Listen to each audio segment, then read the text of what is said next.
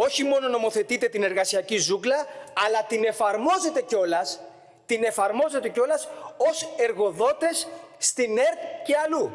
Όπως κάνατε πρόσφατα με την κοινή υπουργική απόφαση που καθόρισε τους μισθούς των δημοσιογράφων στα κρατικής ιδιοκτησίας ΜΜΕ, όπου αντί για αυξήσεις στους μισθούς, εσείς τι κάνατε κύριε Υπουργέ, τι κάνατε αντί για αυξήσεις στους μισθούς στους δημοσιογράφους στα μέσα ενημέρωσης, τους δώσατε κουπόνια σύντησης. Και εκεί κουπόνια.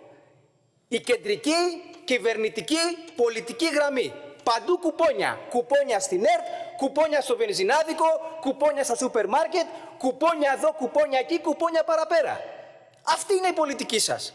Αντί για ουσιαστικές αυξήσεις στους μισθούς και στις συντάξεις, αντί για την κατάργηση των αντιλαϊκών φόρων, όπως του ΦΠΑ στα είδη πλατιάς λαϊκής κατανάλωσης, των ειδικών φόρων κατανάλωσης, εσείς μοιράζετε κουπόνια της τάξης των 22 με 40 ευρώ, τα οποία και αυτά ακόμη προέρχονται από τη λαϊκή τσέπη και το λαϊκό ειστέρημα, γιατί αυτό είναι που χρηματοδοτεί τα κέρδη των δηληστηρίων.